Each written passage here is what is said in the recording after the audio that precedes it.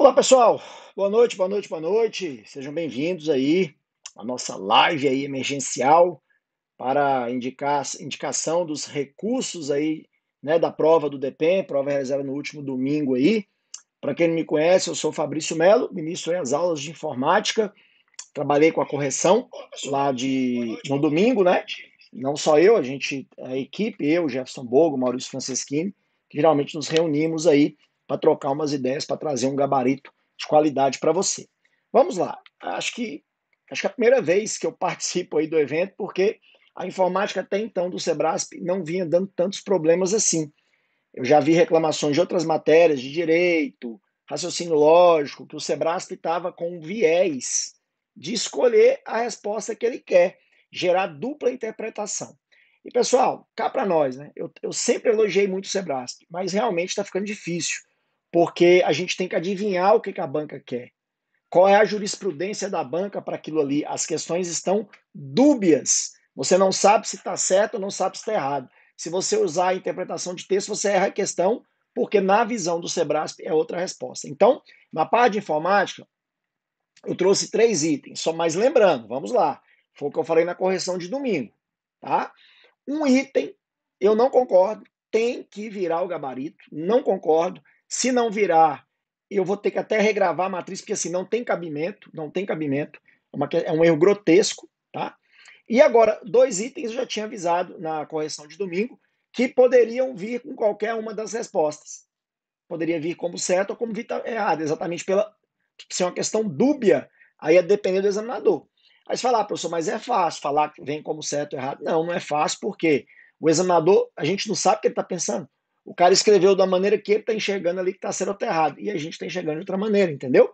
Então vamos lá, deixa eu apresentar para vocês aí quais os três itens que a gente pode aí é, falar. Essa é a que eu não concordo, tá? Eu não concordo com esse gabarito aí de jeito nenhum. Que ele afirma que para sublinhar uma palavra no texto, ó, é necessário selecionar a palavra e em seguida clicar no botão sublinhado ou então Ctrl S. Ele deu o gabarito preliminar como certo, tá? Na minha correção, e eu bato, pessoal, está errado, tá? Isso aí cabe recurso sim, porque o necessário é uma palavra restritiva, pessoal. É uma palavra que está afirmando que é, é para sublinhar uma palavra é necessário selecionar ela. Se não for desse jeito, você não faz o processo. Calma aí. Você pode, só o fato de clicar na palavra, o cursor ficar piscando, você sublinha a palavra.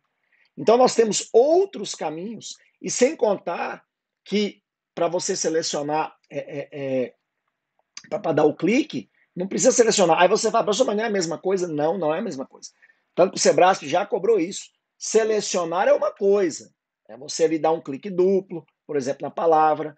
Posicionar o cursor é outra, totalmente diferente. Tanto que tem formatações que você precisa selecionar, como excluir, por exemplo, para excluir a palavra, você tem que selecionar. Se você não selecionar, vai excluir só a letra. Entendeu? Então eu não concordo. Qual é a indicação do recurso? É o seguinte, ó. Pode ver que eu só o fato do cursor estar tá aqui, ó, eu ainda tenho o uso do botão direito, tá? O botão direito abre um menu aqui, o chamado menu suspenso, tá? É, é, e aí você pode realmente usar o sublinhado e pode utilizar o Ctrl S, né? Então é o seguinte, que a banca entendeu foi a partir do momento que o cursor está em cima da palavra, ela enquanto selecionada. Se não selecionar a palavra, você clicar em cima dela. André, mas não é isso que ele fala, cara. A banca entendeu assim, mas a banca não pode entender assim. Nós que temos que entender isso. E sabe por quê? Que eu não gosto de forçar erro. Forçar é concordar com o gabarito da questão, pessoal. Porque ele sempre cobrou isso. O Sebrasp a vida inteira trabalhou com essas palavras, necessário, possível, suficiente. Vocês estão fazendo questões aí, vocês sabem disso. As questões que ele deixa como certo, ele coloca assim: é possível, é suficiente selecionar a palavra. Bacana, porque cá para nós. Poxa, Ctrl S e sublinhar, todo mundo sabe que sublinha. Então, não é a questão de falta de conhecimento, é a questão que ele restringe a questão ali. Né? O erro não é, ah, pô, o cara não sabia que sublinhava, não, a gente sabe que sublinha. Mas a forma, ele cobrou um passo a passo. E outra, pega questões anteriores do Sebrasp aí, tem várias, que ele colocou a palavra necessário e tornou a questão errada, por causa do necessário. Então, ó, a indicação do recurso tá essa aí, tá? É, aqui, ó, estão as fontes, por exemplo, ó, no site da Microsoft você tem é, os atalhos, que são coisas diferentes. Selecionar é uma coisa, colocar o cursor é outra, tá? São coisas diferentes, beleza? E definição do dicionário Aurélio, lá. Necessário é o quê? Não se pode dispensar, impõe, essencial, indispensável, que não pode deixar de ser inevitável, fatal. Então você pode usar, por exemplo, aí é, três dicionários, eu não coloquei todos aqui, porque aqui é só um evento de indicação. Lá no blog do Grão Online, pode entrar lá, que lá tem por escrito. Não pode fazer recurso repetido, tá, pessoal? Vocês têm que fazer o de vocês. A gente só está indicando aí o caminho, tá? Então pega três fontes de palavras, da palavra necessário, e peça o quê? O que, que essa questão você vai pedir?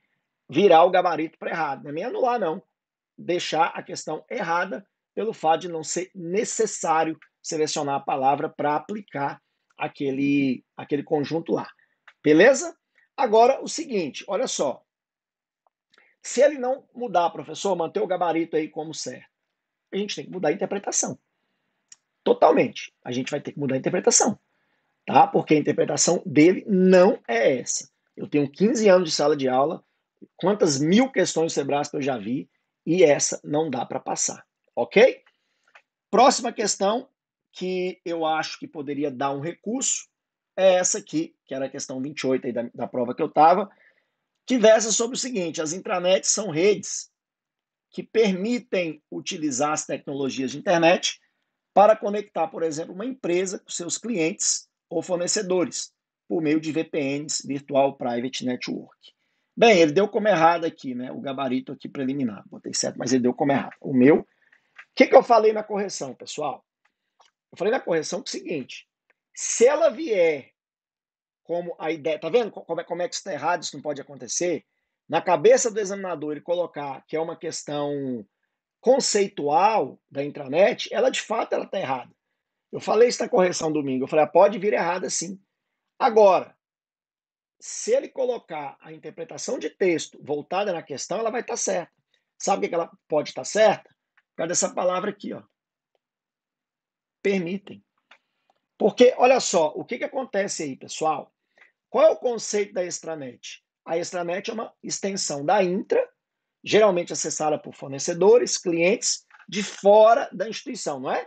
É o que ele colocou aí. Isso é o conceito da extranet. Quando ele coloca a palavra lá, clientes e fornecedores, usando VPNs, bacana, é o conceito de extranet. Porém, ele me deu uma palavra lá, dizendo que a intranet são redes que permitem permitem utilizar a tecnologia da internet para conectar, por exemplo, uma empresa com seus clientes fornecedores. Por que não? Isso depende do sistema. Eu posso ter um sistema, por exemplo, de estoque, a intranet, que os meus funcionários tenham acesso, e eu deixar os meus fornecedores terem acesso ao meu estoque. Qual é o problema disso? Isso vai depender do sistema. O que a gente é, bate é o seguinte, que os usuários têm que ser usuários com login e senha isso é uma restrição de fato. Você só acessa com login e senha. A intranet extranet não é acesso público. Mas ele tornar errado só porque botou a palavra cliente fornecedor, eu não poderia abrir a minha intranet para um acesso de um cliente fornecedor, tanto que a extranet, ela é a intranet acessada de fora. Então, olha só, o, o, o que você acha aqui é, em vários conceitos. Aqui eu botei só alguns, ó, do Soibelman, 2000, olha lá, ó. Ele fala que a extra é a porção pública da intranet, ó. Então envolve a intranet. A extra não deixa de ser uma intranet, tá vendo? Ó? Aí ele fala aqui, ó, embora todas as definições apontadas representem bem o tema extranet, podemos dizer ainda que normalmente a extranet é uma evolução da intranet de uma empresa. Então, tá vendo? Tá isso aí, ó. Olha aqui no final, pessoal, ó. No mundo dos negócios, podemos convidar clientes e parceiros. Aqui, ó podemos convidar clientes e parceiros comerciais para a nossa loja sem lhes dar a chave dos escritórios executivos. As, extras, as extranets oferecem a mesma oportunidade de abrir informações e sistemas da intranet para pessoas de Fora! Olha o que ele colocou aí. São conceitos de autores consagrados. Olha aqui, ó, um, um conceito tirado do site da Embratel. O que é uma VPN? Host externo com uma rede privada.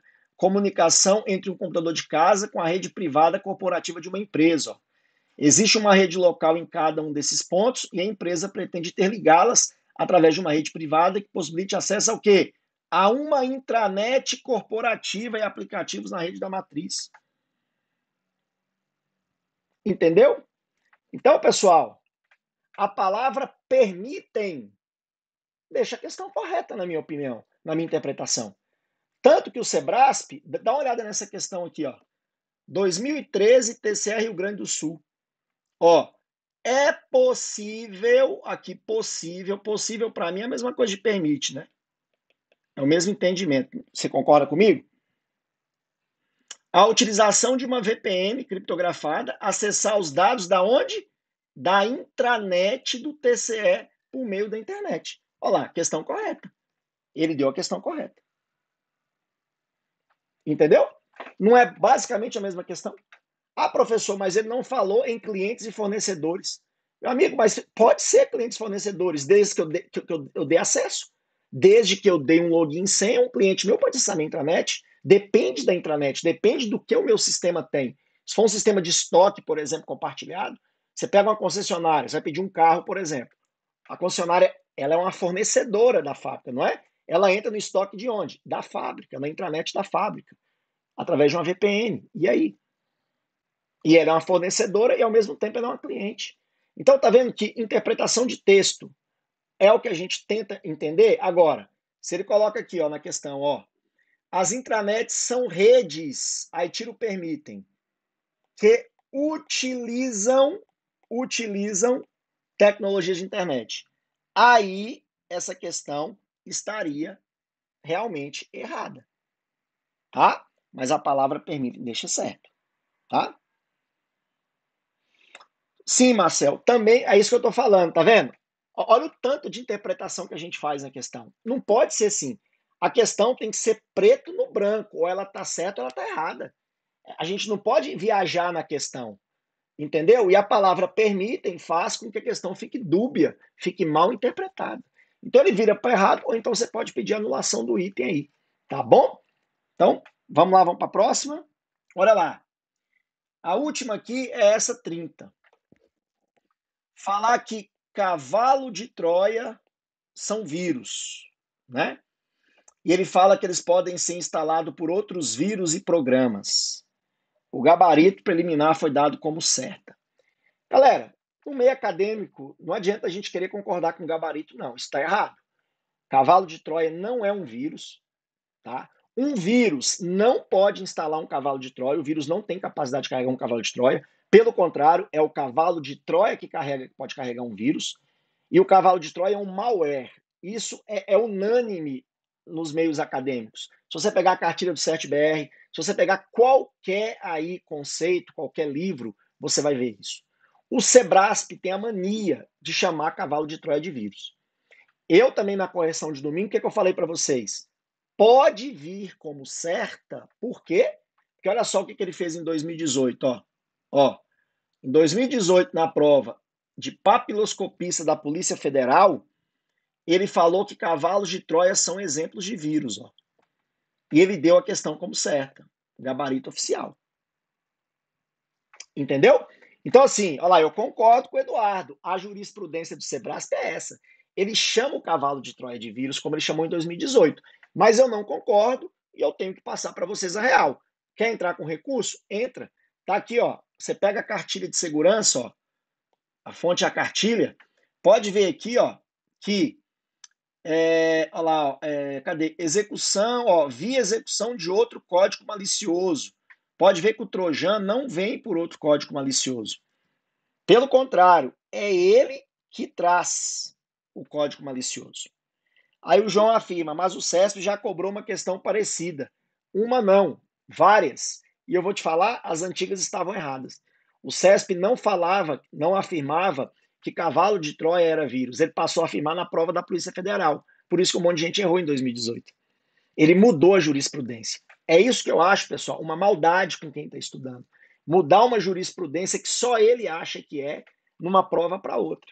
Beleza, ele manteve a de 2018, mas tem questões anteriores que estavam aí erradas. Então, pode entrar com recurso baseado na cartilha e alegando também que vírus que traz cavalo de Troia. Fala aí para mim. Pelo contrário, ele que carrega os vírus.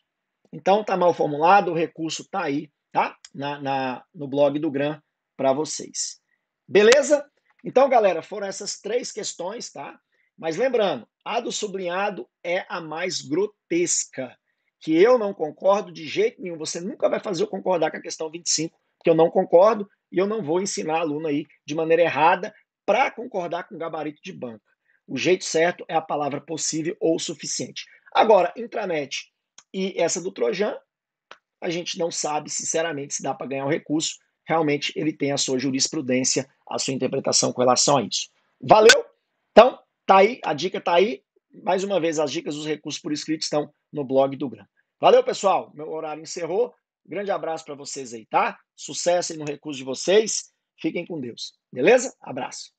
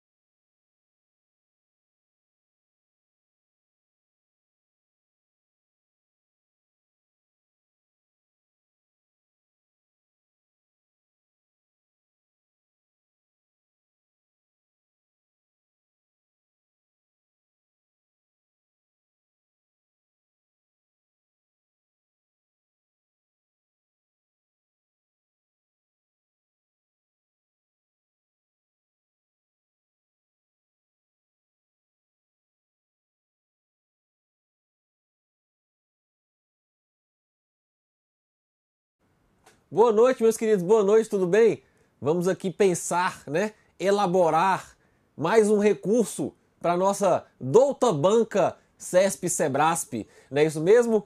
Para quem não me conhece, meu nome é Péricles Mendonça, sou professor de legislação penal aqui do Gran Cursos Online e hoje vamos recorrer aqui de um item, um item da nossa provinha aí do DEPEN. Eu espero que todos os senhores tenham ido muito bem e que esse item sirva aí para dar aquele aquele up ali na tabela de classificação, beleza?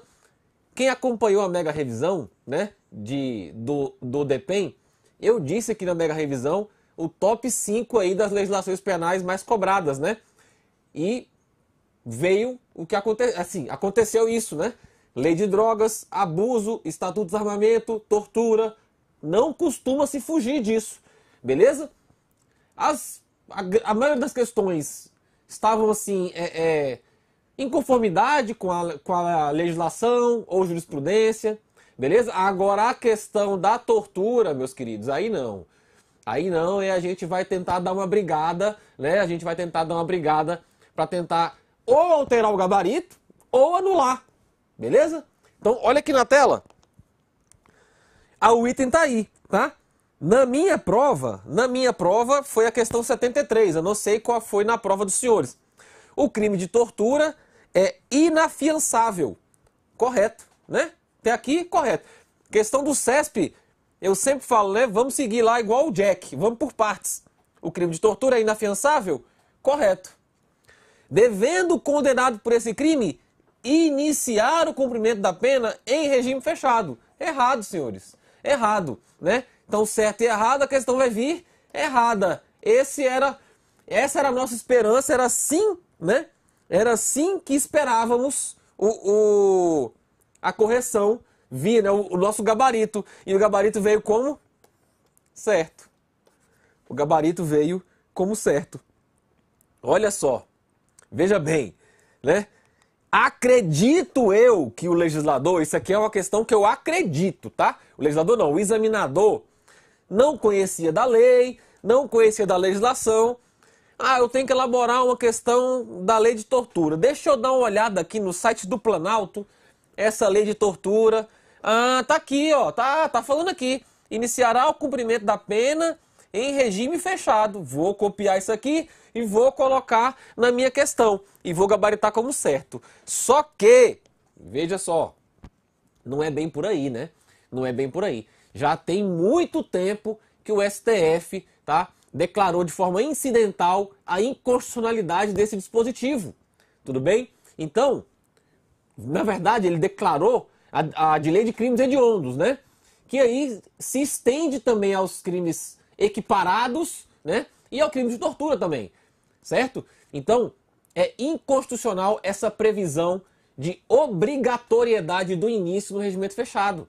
A gente sempre fala nas aulas, é proibido iniciar no fechado? Não, não é proibido. Agora, o que foi reconhecido pelo Supremo, essa inconstitucionalidade, é na questão da obrigatoriedade do regime fechado, tá? Então, o, o juiz, né, o magistrado, ele vai seguir o previsto lá no artigo 33, parágrafo 2 do Código Penal. Ele vai seguir a regra geral, tudo bem? Ele vai se embasar na regra geral que aplica também aos outros crimes, podendo o condenado a crime de tortura responder inicialmente em semiaberto, tudo bem? Então ter, vão ser analisadas outras circunstâncias e não essa disposição expressa em lei. Aí vai ter aquele aluno que vai pensar assim: ah, professor, mas ele falou conforme a lei. Não, ele não falou conforme a lei, ele falou com base na legislação especial. Julgue os próximos itens.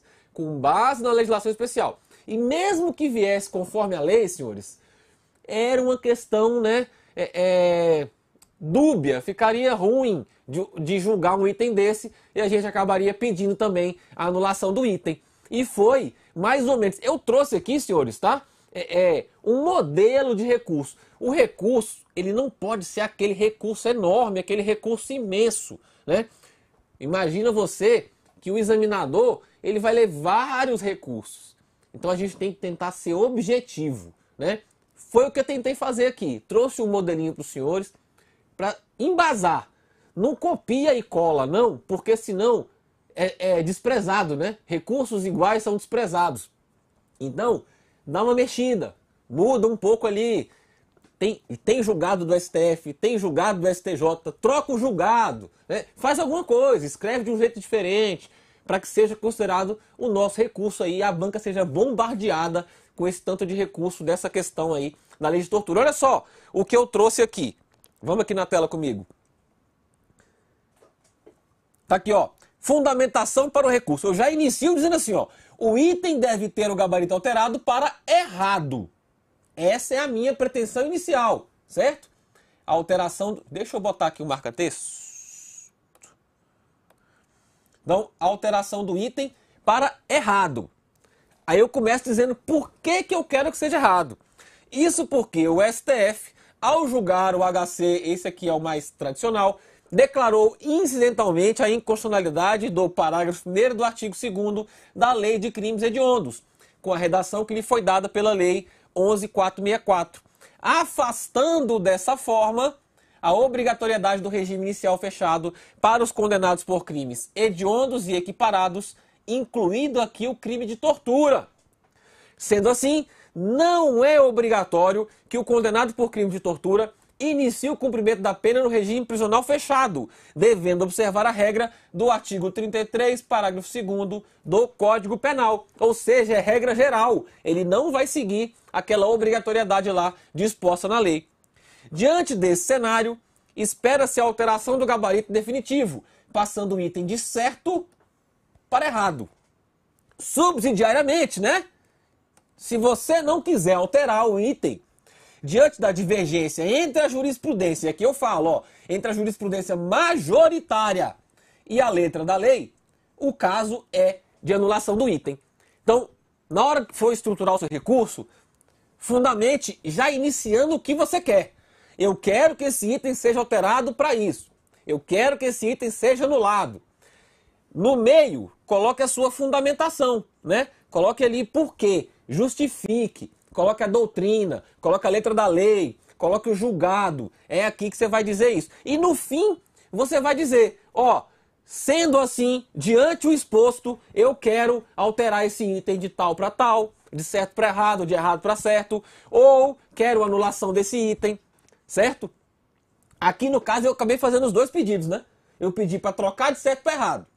Se não, se você achar que não, não deve ser alterado, vamos lá, eu quero a anulação do item, porque a letra da lei diz uma coisa e a jurisprudência majoritária diz outra. Beleza? Então a gente vai acabar é, é, pedindo as duas coisas aí, né? É, não vai. É, é, ou ele troca ou ele anula. Aí eu tô vendo aqui. Quem foi que falou? Leonardo, né? Conforme a lei, a tortura homicida imprópria é detenção, não cabe fechado. Pois é, é um entendimento também, tá? Porque ele fala assim, né? A questão, vou voltar aqui a questão só para eu ler. O crime de tortura é inafiançável. Ele fala daquele, aí fala, devendo condenado por esse crime iniciar o cumprimento da pena em regime fechado. Sendo que no próprio parágrafo 7 ele fala, salve hipótese do parágrafo 2 Então ele, ele já está dizendo, ó, não é em toda a situação. Né? Então, mesmo que o examinador, Mocorongo, o examinador que foi Mocorongo, se ele lesse a letra da lei, ele não poderia fazer a questão do jeito que ele fez. Na minha opinião, ficou mal formulada. Ó, oh, senhores, eu estou chamando o examinador de Mocorongo, é aqui, tá? Não vai botar no recurso, seu Mocorongo. Não, não faz isso não. Trata ele bem. Você trata o examinador de forma é, é, agradável, que ele vai, ah, nesse que eu gostei, vou, vou conceder, eu vou ceder aqui a esse recurso, beleza? Senhores, eu vim aqui para falar só da legislação penal. Eu vi que alguém falou assim, é, e, da lei, e, e de direito penal. Senhores, eu não vi a questão, a prova de, de direito penal, tá? Acredito que algum outro professor deva comentar aqui, tudo bem? Eu vim preparado só para as questões de legislação penal especial, não, não conferi a prova de, de direito penal.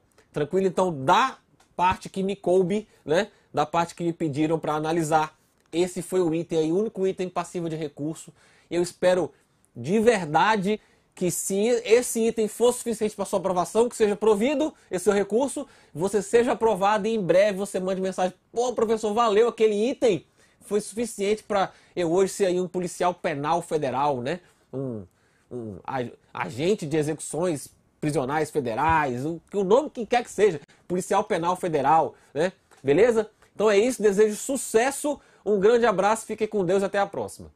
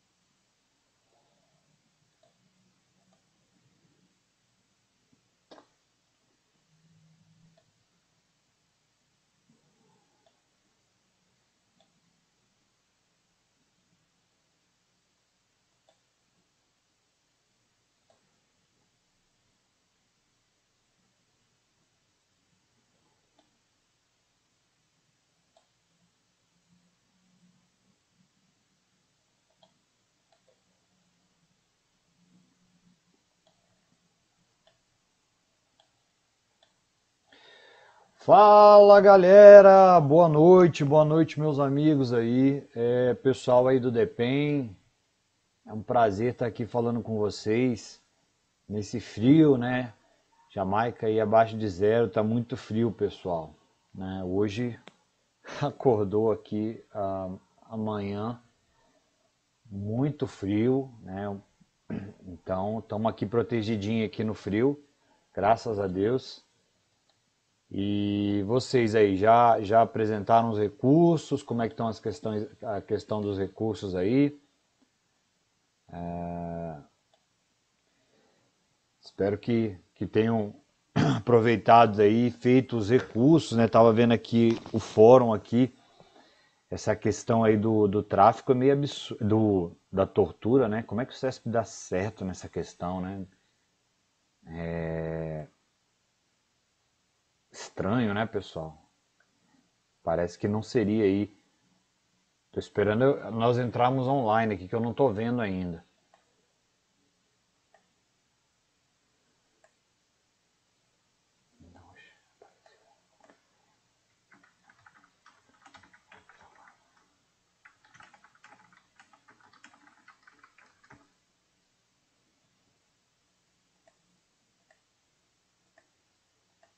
Ah, agora sim, agora me vejo. Agora me vejo aí na tela.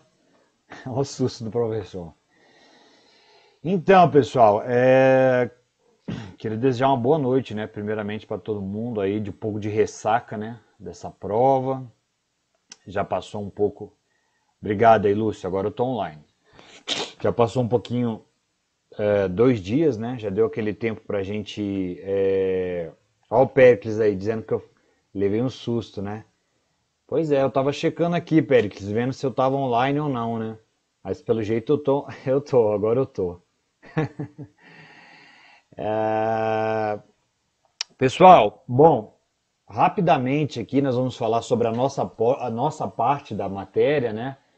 Na verdade, eu fiquei com a parte aí de correção tanto do, dos dois tópicos, né? Execução penal e Departamento Penitenciário Nacional, da questão 95 aí até a questão 120, né? É... Algumas pouquíssimas questões, né, a título de, de recurso, né? É, o grande professor Gustavo aí, tá aí, professor Catolino, um prazer estar tá com a gente aí. É, então, pessoal, Uh, vamos dar uma olhadinha aí nas questões, né? Uh, eu vejo aí, pessoal, no começo, não sei se vocês concordam comigo, e sejam, sejam estejam à vontade para discordar aí do que a gente falou, do que a gente vai falar aqui, tá? Que de uma forma bem é, democrática, nós vamos discutir aqui as questões, tá? Eu acho que da 95 95 até a 100 aí, alguém tem alguma da 95 até a 99, né? A, a questão é, não tem maiores dificuldades, né? Da 95 até a 99 eu não vejo maiores dificuldades. A questão de número 100, o CESP deu como gabarito errado, né? É, qual que é a minha senha aqui? É requisito para valorização dos institutos de criminalística, medicina legal, identificação, autonomia financeira e administrativa dos seguintes órgãos, né? Cara, essa questão eu, eu, eu, eu vou confessar para vocês, eu não engulo, tá? Para mim, ela não deixa de estar correta, tá? Ele, o CESP entende aí que essa questão aí da, da... Na verdade, não. Na verdade, é, não fala de autonomia financeira, né? Ah, por isso que eu acho que ele deu como errado, né? Não é que no começo eu fiquei em dúvida se seria o áudio está baixo, vou aumentar aqui. Pera aí, pessoal. Alô, alô, alô. E agora?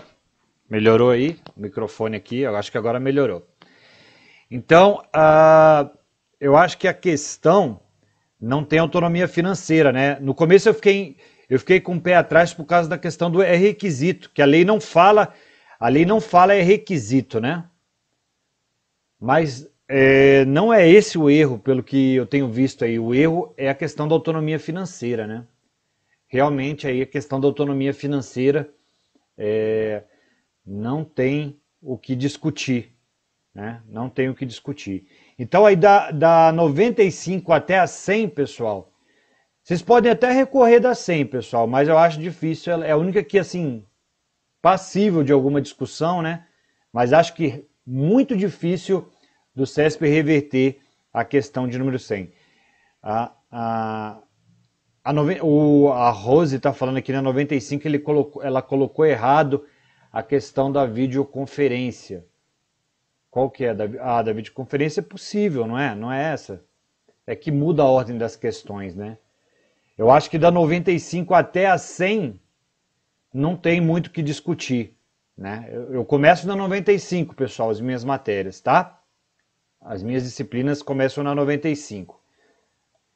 Então, da 95 até a 100 não tem muito que a gente falar, não. É isso aí mesmo, tá?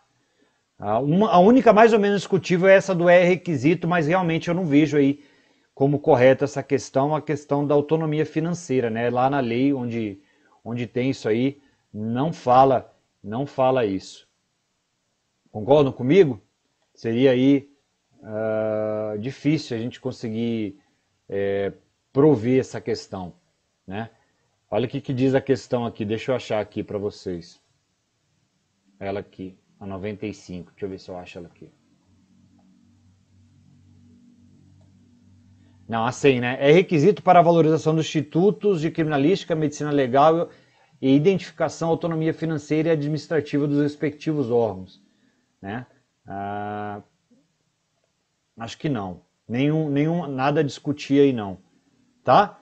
Vamos em frente aí, da 100 para frente. 101, em observância aos princípios da legalidade, as faltas disciplinares médias dever... Ah, essa aqui 101 e 102 é da Luana, não é minha, da, da grande professora Luana. 103. Compete ao agente federal de execução vigiar e orientar a pessoa em estabelecimento federal. É isso mesmo, eu falei essa questão na aula de sexta-feira. Eu dei essa questão na aula de sexta-feira. Né? 104. Para progredir aí funcionalmente, o agente federal deverá cumprir intercídio de 12 meses, é isso mesmo. Né? Ah, não, acho que a 104 está errada, né? A 104 está errada, está tá errada aí as as quantidades, né? Também não teve muita discussão aí. Uh, vamos continuar aqui, deixa eu ver mais. 104, 105. Não é falta grave, é falta média. A incumbência de promover a proteção de dados é da coordenação e aparelhamento de tecnologia. 106 minha aqui não é. Não é. Errado. 107. Pessoa presa em estabelecimento penal federal que for vítima de surtos psicóticos, a depender da gravidade de caso, poderá ser feita, é, atendida em outro lugar. Correto, né? É, pode ser. Aí a 108 minha aqui, pessoal, ó, para ser transferido para estabelecimento penal federal, um preso deve apresentar algumas características, entre, a, entre as quais está submetido ao RDD. Essa aqui não tem erro. Essa aqui tem, tem recurso, tá? Para mim é 108. Ah, ela diz que é, ah, o CESP está dizendo que é letra E, errado, e vai contra o que diz o decreto 6877 de 2009, né? Artigo 3 que vai dizer que aí que é sim, né, pessoal, um dos requisitos aí a 108. Concordam comigo que cabe recurso essa na 108? Não sei qual que é o número da questão de vocês aí. Né? Olha só o que diz o decreto 6877. Para a inclusão ou transferência, o preso deverá possuir ao menos uma das seguintes características. Aí lá no parágrafo terceiro, para a inclusão ou transferência, o inciso terceiro está submetido ao regime de, é, disciplinar é, regime disciplinar diferenciado. Eu vi uma banca, eu vi uma outra banca aqui, pessoal, dizendo que essa questão deveria ser anulada. Não, não deveria ser anulada, tá? Ela tem que ser dada como certa, na minha opinião, tá? Essa tá errada. Ó, oh, Henrique, a opinião do Henrique, tá dizendo que o cara tem que estar no RDD. E fora isso, outras características, né? Bom, é, para mim, ela cabe recurso, tá? Ou ela vai ser anulada, ou Marcel Palhares. O cerno é o vocábulo algumas. Vamos dar uma olhada lá nela de novo. Vamos dar uma olhada nela de novo. Para ser transferido de estabelecimento penal federal, um preso deve apresentar algumas características, entre as quais, mas é algumas, algumas características. Né? Ter praticado crime que coloque em risco sua integridade física, estar submetido ao RDD, ser membro de quadrilha ou bando. É uma das características, né? Uma das características. Para mim, ela tá certa, tá? Mas tudo bem, pessoal, aqui legítimo. A concurseira amazonense não concorda. Ela diz que não é obrigatório o preso estar na EDD para ser transferido para o presídio federal. Né? Cara, assim, a, a prova, no meu ponto de vista, nessas questões aí, nessas 20 últimas questões, umas três ou quatro deixaram a desejar na escrita, não é? no meu ponto de vista, assim, ela deixou muito a desejar. A questão do Ministério Público também, que eu acho que ela está um pouco é, estranha, né? Mas aqui é, é, é para a gente recorrer, pessoal. Quem acha que tem que recorrer, recorre. Quem acha que não tem que recorrer, também não recorre, né? É... Vamos em frente aí. Vamos dar uma olhada aí nas próximas questões. 109. As, as visitas de pessoas presas podem ser gravadas, mas as gravações não podem ser utilizadas como meio de prova. Isso aqui é Ctrl-C, Ctrl-V, pessoal. Eu vi uma galera reclamando dessa aqui, mas essa aqui não cabe nada não, tá? Questão da, das gravações aí é, não poderem ser utilizadas. 110. Considera-se que uma mãe queira reclamar das condições que seu filho esteja submetido a um presídio federal. Ela deve reclamar na, na corregedoria não, na ouvidoria. Eu falei dessa questão na véspera. Considera-se que Manuel, preso provisório, cometido, tenha cometido no estabelecimento penal federal fato previsto como crime doloso e que Carlos, preso condenado, tenha cometido é, no mesmo estabelecimento fato cometido como crime é, culposo. Nessa situação, somente Manuel cometeu crime grave qual foi o gabarito dessa questão? Foi uh, eh, 112, né? Certo. Foi isso que o CESP deu como certo, né? E aí, o que vocês acham que essa 112 aí poderia ser alegada, pessoal?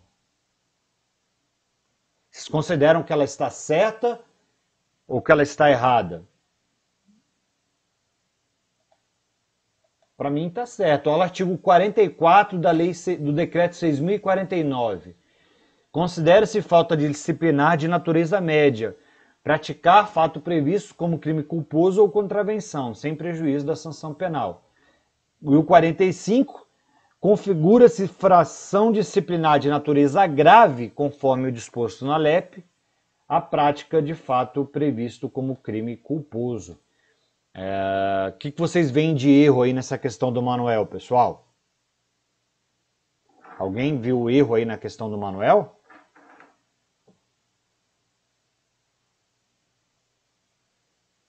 A, Na, a Nara, Nassaraiva também achou que a do RDD está errada. O Felipe Júnior disse que elas não podem, elas devem ser gravadas. Vamos dar uma olhada lá, Felipe. Vou voltar lá na questão, tá? Deixa eu achar aqui essa questão da, da, das, das imagens.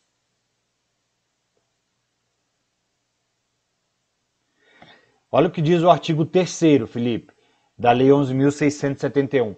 Serão incluídos em estabelecimentos penais federais de segurança máxima aqueles para quem a medida se justifique no interesse da segurança pública ou do próprio peso condenado a provisório.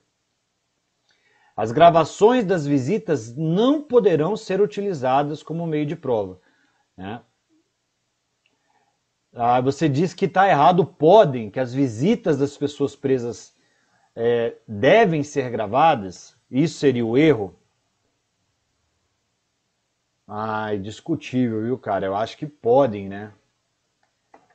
né? Vocês acham que deve ser, devem? Não vejo como possibilidade aqui, cara. Tá? Uh, mas assim, é, uh, é, uma, é uma argumentação, né? Ele, eu acho que ele com podem aqui, ele quis, ele quis. Se bem que o artigo 46 aqui de uma portaria que eu estou vendo diz que a visita não, mas aqui é visita por meio virtual, né? É... Discutível, discutível. Né? Eu, eu não vi, eu não vi, eu não tinha visto possibilidade aí nessa, nessa, ao Carlos dizendo que pode ser gravado está correto. Eu também não vejo erro nessa aí não. Mas pessoal, é, é, recorram, tá? Recorram. É, vocês têm que recorrer do que vocês acharem correto, errado aí. Considera-se que Alberto seja liberado em definitivo, essa a gente já fez? Não. Do Manuel, né? Um estabelecimento federal e Bernardo livrado condicional. Nesse caso, ambos fazem jus à assistência relativa à orientação e ao apoio para a reintegração à vida em liberdade, sendo que para Alberto essa assistência vai ser por um ano e para Bernardo enquanto ele estiver durante o período de prova. Uh, esse gabarito aí foi dado como correto do Alberto, né? Não? Foi dado como correto do Alberto também. Uh, deixa eu ver que número que é essa questão aqui na minha prova. 112, gabarito correto também. Aqui, vocês viram alguma possibilidade de recurso aqui na do Alberto?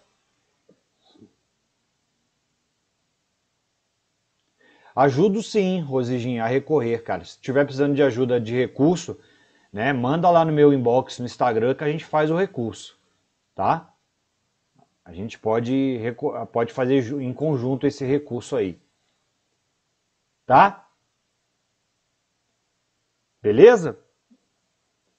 O uh, que, que, que, que, que parece que ele, ele colocou na questão do Alberto aqui, né? Ficou meio estranha essa questão. Mas, ele, mas o gabarito foi dado como certo, né? Deixa eu ver se eu acho aqui, não estou achando a fundamentação dela. Só, a, só as questões do Jonas.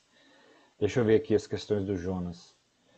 Preso provisório estabelecimento penal federal tentou cometer uma falta grave no estabelecimento. Nessa situação, Jonas estará sujeito a punido com a sanção correspondente à falta consumada. Essa não tem discussão, tá certo. 114, deixa eu ver aqui. Eu acho que a única que deu polêmica aí depois dessa, né, pessoal, foi a 119 também deu polêmica. Eu até na correção aí do no domingo é, eu tive um dia de plantão e aí eu fui direto para lá, pessoal. Acabou que eu entrei no ar só quase meia-noite, né? Tava um pouco uh, na cansa cansado. Uh, a 119 ela foi dada como errada, né? Eu pensei que, que, pensei que fosse correto essa questão aqui, no meu entendimento, né? Em penitenciária federal, a realização de pesquisa científica com preso depende da autorização do diretor, mas não é da autorização do diretor, né? O, diretor vai solicitar, é isso? Concordam comigo? Artigo 49 do Manual de Assistências, né? A realização de pesquisa científica que contribua para a qualidade de vida dos presos ou aprimoramento da assistência à saúde no sistema prisional brasileiro requerimento motivado do, ao diretor, né? Não, não, não ele aí. Alberto está errado. Alberto está errado. É... Discute aí, ó, ó, Alberto, por que, que você acha que tá. Ó, Paulo, por que, que você acha que a do Alberto tá errado? Para mim ela tá correta. Né? Os prazos estão corretos. Não tem nada o que. o que. As duas últimas estão no manual, Renato, realmente. Só que a 119, é, eu dei ela como correta, mas se você for parar para ver no artigo 49, vai, vai falar que requerimento motivado ao diretor da penitenciária federal, né? E a questão fala depende de autorização do diretor. A 119 está errado. Com certeza ela está errado. Tá? O Heron, professor, poderia me explicar a 115? Vou dar uma olhada lá na 115. Deixa eu ver aqui.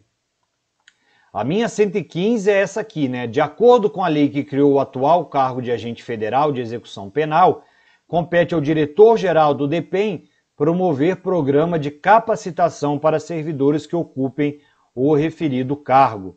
Né?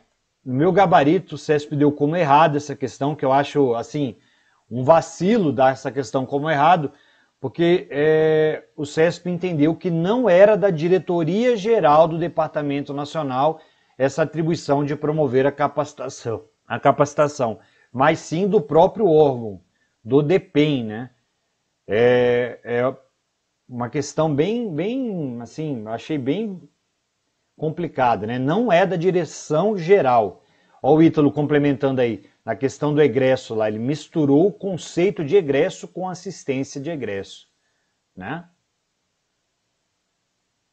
Eu, eu, eu, eu, concordo, eu acho que a questão do Alberto ela está correta, pessoal. Ela não, ela foi bem escrita e ela está bem fundamentada também. Eu não vejo erro não, tá? Pessoal, se quiserem é, que a gente faça recursos juntos aí de outras questões, me procurem no Instagram, arroba Oliveira, tá? Eu vou ter o maior prazer de fundamentar os recursos, se a gente vê que existe realmente uma, uma viabilidade. Então é só para a gente fazer um resumo aqui. A 108, né, com certeza para mim tem recurso, que é a questão do RDD. Na minha opinião, ela é um requisito sim, o preso está na RDD, tá? E pelo que eu vi aí pela argumentação de vocês, cabe discussão na questão do Alberto, né? Tem mais alguma outra questão? Aquela que aquela da câmera, né, que devem ser gravadas, né? Eu vou realmente vou rever isso aí, mas eu não acho que eu acho que a questão do podem aí ficou ficou bem colocada. Tá? A do MP, a do MP, deixa eu ver aqui a do MP. A do MP é boa também. Uma questão para mim muito mal escrita, que é a 117. Para que o MP possa requerer a transferência de preso para estabelecimento penal de segurança máxima, o parquet deverá comprovar que o encarcerado é membro de quadrilha ou bando que pratica reiteradamente crimes com violência e que desempenha a função de liderança na organização criminosa. Deram como errado essa questão, né? E o que, que vocês, por que, que vocês acham aí que seria, o povo que está reclamando da questão do Ministério Público, por que, que vocês acham que estaria correta essa aí do Ministério Público, pessoal? Estou procurando aqui essa questão nas minhas, nas minhas justificativas e não estou localizando ela. Ministério Público.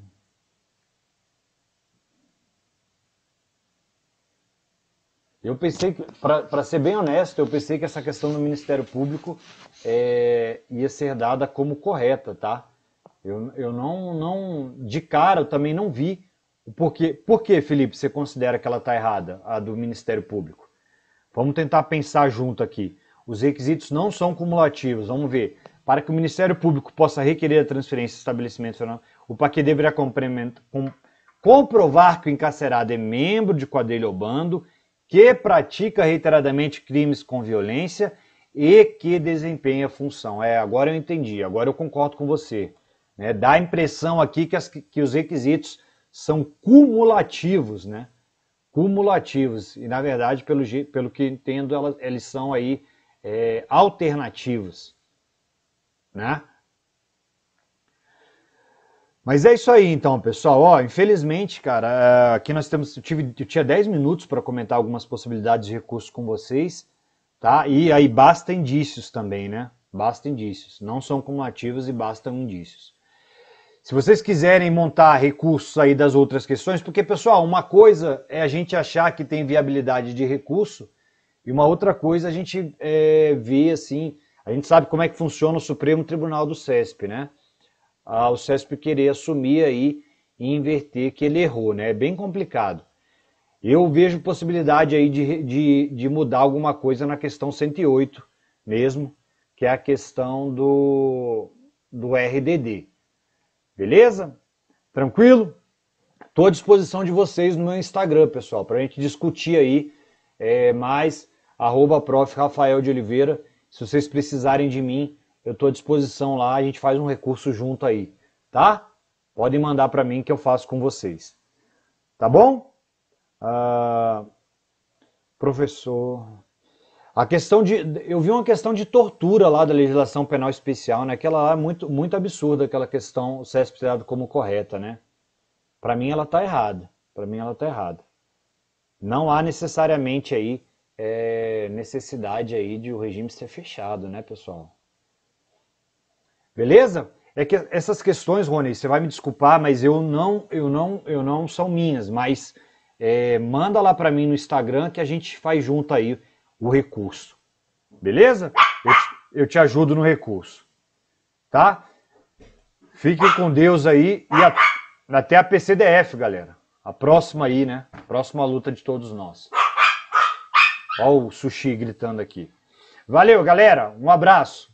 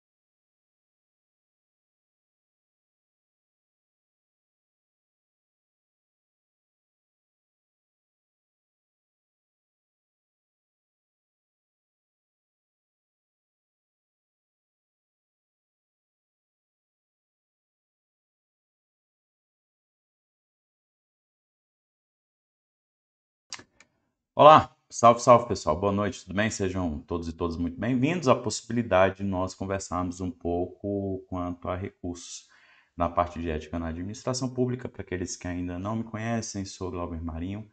Provavelmente vocês tiveram aulas com a nossa querida professora Katia Lima e no PDF com o nosso querido Diogo Surdi. Nós conversamos, os três, a respeito dessa prova que foi aplicada aí para o Departamento Penitenciário Nacional Teorias éticas, né, pessoal? Mais uma vez nós tivemos aí elas, as teorias éticas. Na semana passada, o pessoal do curso para Polícia Civil do Estado de Alagoas entrou em contato comigo me questionando: eu tenho que estudar teorias éticas? Não está no edital, tá sim. Lá na parte de ética e moral, nós temos a parte geral de ética e engloba teorias éticas. Os próprios teóricos é, classificam essa parte como uma parte cinzenta, nebulosa do nosso estudo, porque nós estamos falando aí de uma quantidade milenar de tempo, né? Desde a antiguidade clássica até os dias atuais, teorias éticas diversas, muitos teóricos, muitos filósofos, teólogos que deliberam sobre isso e nós não conseguimos, num curso de ética, né, não é um curso de filosofia, contemplar todos. Então é por isso que focamos nas três mais cobradas. E quais são elas? Ética aristotélica, o imperativo categórico de Immanuel Kant, como uma ética formal deontológica, e o utilitarismo como uma ética empírica, vinculada aí é, a uma concepção teleológica, né, como classificação, telos de fim, de consequências, resultados. Dois itens, né? Os demais são mais questões relacionadas ao direito administrativo, em ética mesmo, nós tivemos a 16 e a 17, não sei se é essa referência que você tem aí na, na sua prova, mas eu vou projetá-las aqui, tá certo? A 16 está tranquila, ele fala sobre autonomia, é um conceito atribuído por Immanuel Kant, mas antes de nós é, falarmos sobre a possibilidade do artigo do, da questão 17, né, que é onde nós verificamos uma possibilidade, vislumbramos uma possibilidade de recurso, porque foi o debate que nós tivemos antes de Kátia e fazer com vocês o gabarito extraoficial, é a definição de princípios e valores, tá certo? Então, olha só, se nós pensarmos em moralidade pública, nós carregamos uma série de valores que são particulares, subjetivos, né, que fomos expostos no nosso processo de convivência coletiva e acabou fazendo parte do nosso campo de valores, é o que nós chamamos de senso moral. Ali entre os 12 e 16 anos, assimilamos alguns desses valores, refutamos tantos outros e isso fez parte do nosso campo de valor que carregamos para a administração pública. Chegando na administração pública, nós não podemos simplesmente projetar esses valores de maneira automática, sem filtro, porque temos o princípio da moralidade. O que é a moralidade? É exatamente o equilíbrio, a compatibilização da subjetividade de valores que nós carregamos com a objetividade de princípios da administração que abarca toda a coletividade. Então, quando há esse equilíbrio, essa interseção, nós conseguimos fazer com que essa compatibilização nos direcione ao alcance do bem comum, do interesse público, do interesse coletivo. Do contrário, nós vamos acabar por fazer com que algo particular, nossos valores pessoais, se sobreponham aos valores da administração e tenhamos conflito de interesses. Então, é, se pensarmos na Declaração Universal dos Direitos Humanos, aquilo que você utilizou aí para resolver as suas questões nessa parte da tua prova, você sabe que todos os países que são signatários são estados que possuem valores que são muito particulares, ou seja, os valores estão no campo individual, grupal, social, coletivo e de determinado estado, tá certo? Então, cada um desses estados signatários possui um campo de valor, mas nós precisamos, depois da Segunda Guerra Mundial, extrair desses diversos campos de valores algo que fosse uma essência, uma espinha dorsal para abraçar todos como se fosse um guarda-chuva e desse referência ao mundo para que nós não tivéssemos uma terceira. Então, é como se nós pegássemos os valores de todos esses estados, colocássemos um caldeirão, misturássemos e aí extraíssemos esses princípios que são universais e que estão previstos lá na Declaração Universal dos direitos humanos. É como se os princípios estivessem mais alinhados a uma concepção de ética, fossem mais universais, e os valores estivessem mais alinhados a uma concepção de moral, fossem mais subjetivos, particulares, individuais, de grupos ou de determinadas sociedades. O que acontece, e eu sempre venho falando sobre isso, é que o CESP não gosta de trabalhar de maneira muito fragmentada o conceito de princípios e valores. Quem geralmente faz isso é a banca Quadrix, e faz essa vinculação, né? Valor à moral, princípios à ética. Então é comum que o CESP utilize as expressões princípios éticos, princípios morais, valores éticos, valores morais. Tecnicamente existiria uma diferença entre valores morais e valores éticos? É como se os valores morais fossem mais particulares e os valores éticos fossem mais amplos, tá certo? É como se nós estivéssemos fazendo uma diferença também entre princípios morais e princípios éticos, que também são expressões que nós já vimos aparecer em provas anteriores, mas nunca foi de maneira muito marcada. Então, nós é, não direcionávamos a esse entendimento, tá certo? Só que aqui nós tivemos problema. Por quê? Porque a primeira questão, olha lá por quadro, por gentileza, ela fala exatamente do conceito de autonomia trazido por Immanuel Kant. Ele diz o seguinte: a responsabilidade moral de uma conduta está vinculada à autonomia do sujeito. Existe uma diferença entre autonomia e heteronomia. A ética e a moral estão no âmbito da autonomia porque nós avaliamos a intencionalidade do sujeito, a sua boa vontade de cumprir com o seu dever, como uma vontade própria. É a lei de si mesmo. Eu tenho princípios, eu tenho dever, eu tenho uma lei que rege a minha conduta, independentemente da lei, que é um elemento externo, exógeno, heterônomo, o próprio direito, que tenta modular o meu comportamento a partir da imposição. Então, quando nós falamos de autonomia, nós falamos de liberdade de ação, de escolha do sujeito, por inteligência e por convicção, buscar aquilo que está alinhado ao cumprimento do seu dever, sem que se queira buscar algo em troca, sem que se tenha a intencionalidade de ter uma vantagem, posterior à execução daquela ação. Agora, nós temos no contexto de sociedade pessoas que são sem noção. Essas pessoas precisam do direito, porque o direito é impositivo, é coercitivo e por medo da recepção de uma penalidade, eles acabam fazendo o que deve ser feito, mas não porque possuem aí uma responsabilidade moral, não porque têm consciência e têm pensamento de coletividade, eles simplesmente estão pensando em não ser penalizados, tá certo? Então, o direito é heterônomo, é um elemento externo, exógeno, é uma lei externa ao sujeito, fazendo uma tradução, é, que impõe e modula o seu comportamento. A autonomia está no âmbito da lei própria do sujeito, a partir do que Immanuel Kant diz, chama de imperativo categórico. Faça a outra aquilo que gostaria que fosse feito a você. Age de tal forma que se torne uma lei universal. E aí trouxe para nós uma oposição ao utilitarismo, porque ele avaliou a importância da dignidade da pessoa humana. O homem não é um meio para se alcançar um fim, mas um fim em si mesmo, e ele precisa ser respeitado. Por isso que esse conceito de autonomia acabou chegando até a formalização da Declaração Universal dos Direitos Humanos, a 16, volta lá, por gentileza, ela de fato está correta, a gente não verifica a possibilidade de termos aí é, um questionamento em relação a essa questão, tá certo? Agora a gente vai para a 17.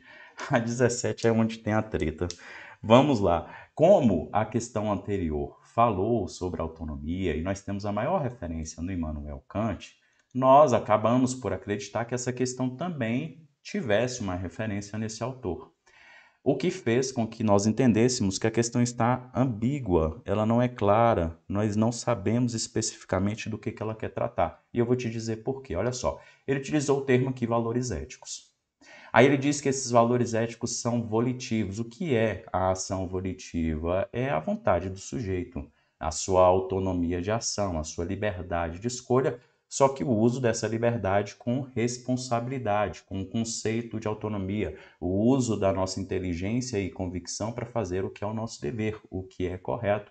Mesmo estando no Estado democrático de direito, eu não saio na tora, na doida, utilizando dessa liberdade sem responsabilidade, como foi mencionado anteriormente. Isso é o que quer dizer volitivo. Ou seja, como tem relação com a autonomia, e a questão anterior falava sobre a autonomia e a representatividade maior é Kant, nós acreditávamos que estivesse né, levando em consideração o pensamento de Kant. E aí ele adicionou, e escolhidos por cada indivíduo de determinada sociedade. Pessoal, quando ele colocou para nós por cada indivíduo, no momento do debate nós acreditávamos que essa questão estivesse errada, porque os valores éticos eles poderiam ter uma dimensão mais ampliada, tá certo?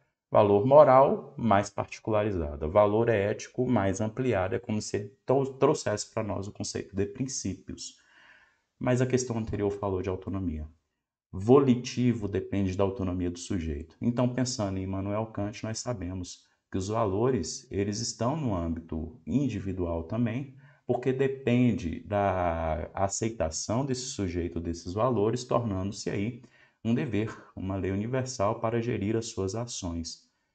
E nós buscamos referências e eu vou colocá-las aqui para você. Nós temos aí uma questão de 2019 do Ministério Público do Estado do Pará que vai colocar exatamente que essas questões dos valores elas também entram no âmbito individual, particular. CESP 2019, Ministério Público do Pará, que diz o seguinte: os princípios éticos, ou seja, mais ampliados, mais universalizados, são normas que determinam o comportamento social em função de valores com dimensões existentes no indivíduo, no grupo ou na classe social, no povo ou na própria humanidade. Então, o próprio SESC trouxe para nós em 2019 que os valores têm uma concepção particular também.